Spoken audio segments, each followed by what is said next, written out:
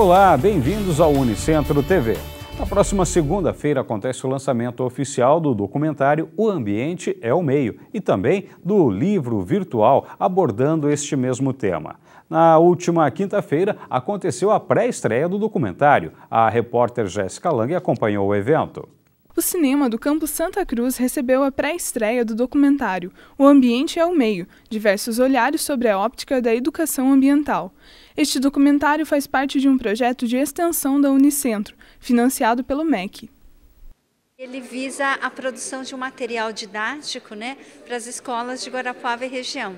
Então, nós fizemos uma caracterização do meio ambiente de Guarapuava e região através de diversos olhares, ou seja, uma forma interdisciplinar de se enfocar a temática ambiental. Então, nós tivemos é, professores da biologia, da geografia, da história, né, também da pedagogia, vários departamentos envolvidos, já que a temática ambiental é uma temática multidimensional, interdisciplinar. Então, o objetivo do projeto foi caracterizar o meio ambiente regional sob essa ótica da educação ambiental, trazendo dados científicos que foram produzidos por esses profissionais da Unicentro e traduzindo para uma linguagem mais para o professor de ensino fundamental e médio estar utilizando na escola. Também foi produzido um livro virtual que será lançado no dia 16 de abril no auditório do campus CDTEG. Esse material tem como objetivo auxiliar os professores em sala de aula pela necessidade que a escola tem. Né? A gente ouve algumas críticas em relação que a escola ela se baseia em livros didáticos e que geralmente não tem os exemplos locais. Né?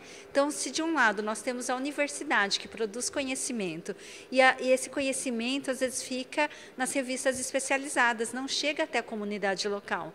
Né? Então, a ideia veio no sentido de trazer essas informações científicas da região e torná-las acessíveis à comunidade escolar. E o documentário é um material de apoio para o professor. Né? O livro ele pode aprofundar esses conhecimentos, mas a, a, riqueza de detalhes que aparece através da imagem, ou seja, da linguagem audiovisual, não é? Uh, ela tem o poder assim de, de se comunicar muito melhor com, com as crianças, com os adolescentes. Né?